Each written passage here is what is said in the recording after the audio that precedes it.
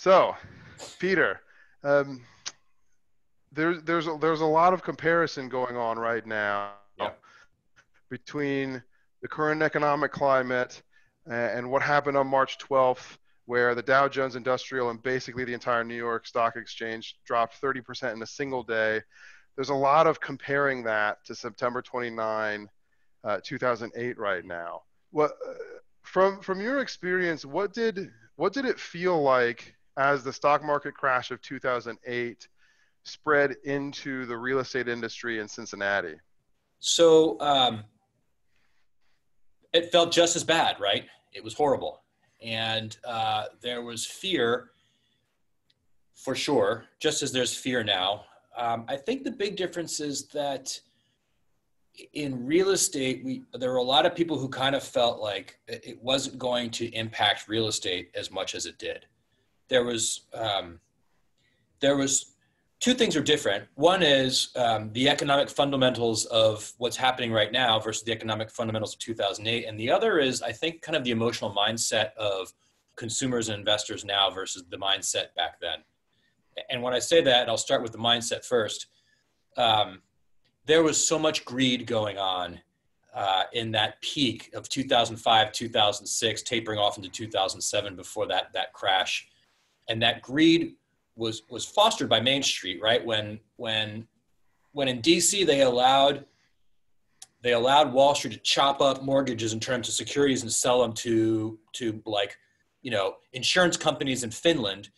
There was this amazing opportunity to package bad loans with good ones and sell them overseas, and so that enabled us to, unfortunately, enabled um, the, the lending world to loosen up the criteria to qualify for a loan to the point where we had even things called liar loans, which were basically no doc loans, which means you basically said, My name is Peter, here's my social security number, I make $100,000 a year. You write on a napkin and you can get a mortgage for 300 grand. I mean, it was crazy.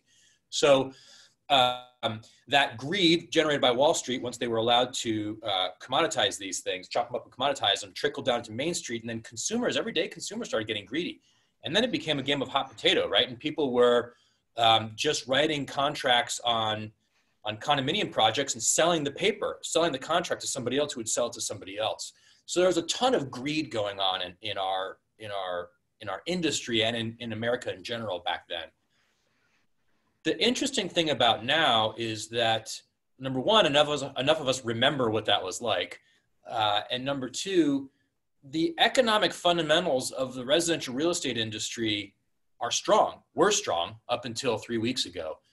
Um, the measure, the measures of of a healthy, or the measures, the, the, the factors, the economic um, factors of the residential real estate industry are inflation and interest rates and GDP expansion and real income growth, and all of those fundamentals were strong, are strong up until three weeks ago. So I think because this happened so rapidly and because some, enough of us remember what it was like in 2008, I think people are more afraid than they were before. And I think there was a little bit more denial going on uh, back in 2008. If you could please speak a little more, Peter, to uh, the comparison between what we're experiencing right now and what was experienced in the fourth quarter of 2008. It's hard because this is this is happening real time, right? So it's, sometimes it's a little bit difficult to make comparisons to yeah. a three month time period versus this three weeks that we've experienced so far. Um, the interesting thing is that right now, if I point to all of the um, kind of the lag indicators of the residential real estate market, which is sales, um, we're still doing great. As you know, our sales team has had one of our best months ever. We sold 10 houses in yeah. the last seven days, several of them in multiple offers. I mean, you would think that we're in this robust economic environment. But a sale is a lead indicator, a, a lag indicator. There's some lead indicators that have to happen first, which is someone has to raise their hand and say, I'm interested in real estate, get qualified, and choose to enter the market at the moment. And what we're seeing right now that we can't see until more time evolves is how much that has shrunk over the last three weeks as you know, Slocomb, our, our team's conversion rate is about 4%, meaning on average, every 20 to 25 people we talk to, one of them will agree to work with us to purchase or sell or invest in real estate. In the last three weeks, that has dropped down to 1.2%. And so that's a lead indicator of future demand. So we've got to be able to look at what the lead indicators are, and those are pointing to a pretty steep drop off in activity. Um, if you look at Keller Williams aggregate data, which is pretty representation representational of the world of the country, right? We we are the largest brokerage in the country. Um, new appointments are down 50%. So we know that in the next two to three months, we should see activity drop by at least 50% um, in Cincinnati and in the country in general.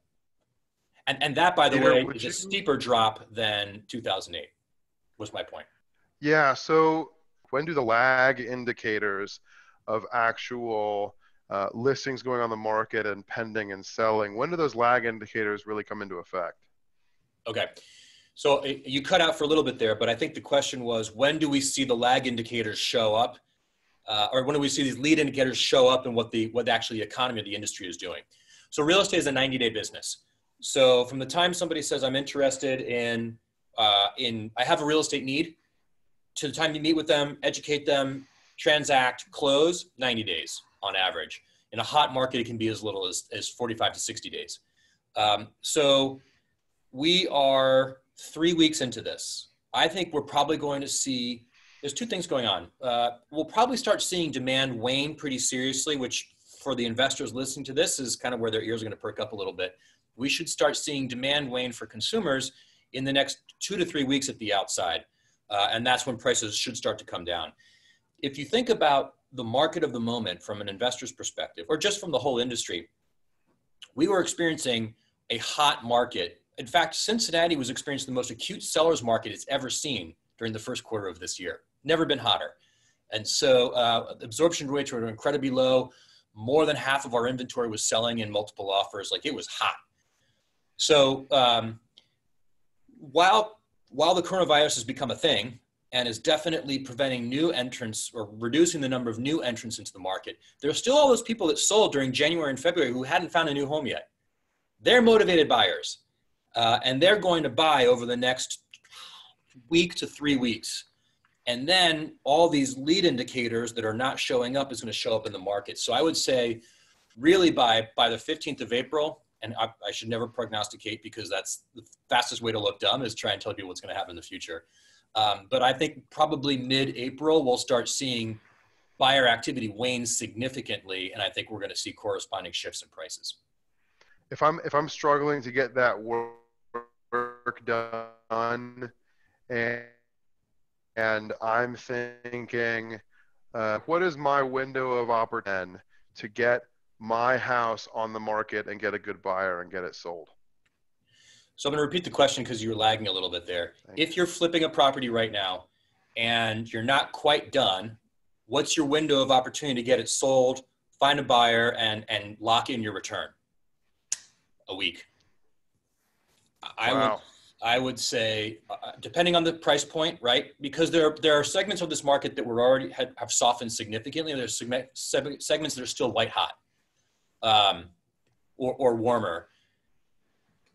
If you're south of, if you're first time buyer inventory, probably two to three weeks. If you are trade up inventory, you got like a week, 10 days. And I think we're going to start seeing this really, really hit hard. Um, that's, that's really, is that window of opportunity. Let me just say it simply the lower your price point, the longer your window of opportunity. There will always be buyers and sellers in every single market segment, but we're going to see them contract by at least 50%, probably more as the price range increases. Because if you think about how a consumer buys, a lot of how a consumer buys is based on confidence. And when you start ticking up north of like $300,000, and especially over half a million, which is considered luxury inventory in Cincinnati, um, a lot of a consumer's confidence is derived in their net worth. And a lot of the average consumers have their net worth tied to what the market's doing. So if the markets have dropped 30%, you've got this huge shrinking in confidence. You're going to see the higher the price point, the faster it gets soft. And, and by the way, if you can't push this thing out the door in the next week, I'd be figuring out what are the cosmetic things you can do and have the offering at the price that you want and just offer and just say like the roof will go on and be done by the time we close don't wait on that stuff. Get the cosmetic stuff done that needs to be done in order to get consumers through, so you can get you can get a sale and finish on the back end, and just make that work a, a contingency to the contract that, that the buyers can review and approve.